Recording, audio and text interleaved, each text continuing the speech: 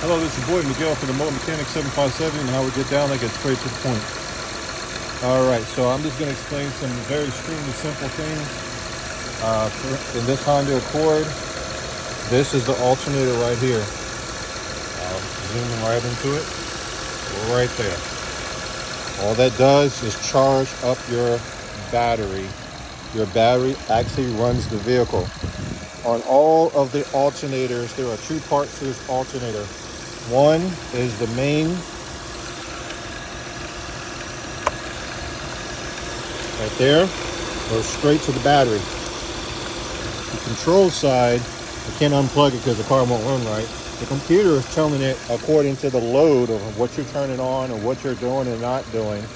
It actually uh, changes the voltage back and forth, up and down to the battery to compensate for whatever you're doing on the car, like you turn on the air conditioner or whatever the case may be, this must be at least 13.9 to 14 volts minimum to run this car.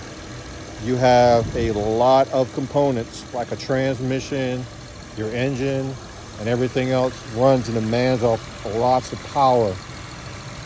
So simply put, this recharges your battery basically, and that's about it. And the computer is telling it how much voltage to put in this battery to keep it above the charge, to keep your car running.